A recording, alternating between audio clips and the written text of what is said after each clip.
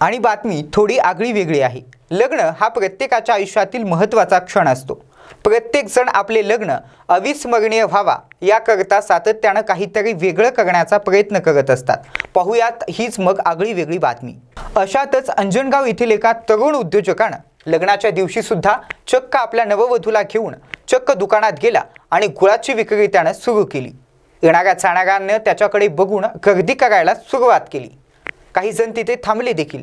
लग्नाचा कार्यक्रम सोडून नवरदेव नवरे येथे काय करत आहेत हे पाहायला चक्क लोकांची तोबा गर्दी तिथे झाली.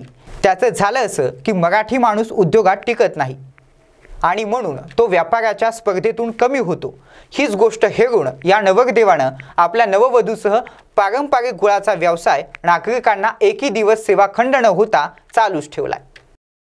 नमस्कार मी हर्षल नंदराव पायघर. आज इथं शेतकऱ्याचा मुलगा म्हणून मी उभा आहे आणि शेतीपासून ऊस पिकवले ऊस उत्पादन करतो ऊसाचं आणि तो गुळ तयार करून विक्री करतो. आज माझ्या गुळाचे गुळाविषयी शे- व्यवसायाविषयी माझी एक निष्ठा आहे म्हणून मी माझं लग्न असून पण मी एक क्षण का होईना मी आज गुळाची विक्री करायला आलो आहे. अनिरुद्ध उगले झुमॉन न्यूज अमरावती.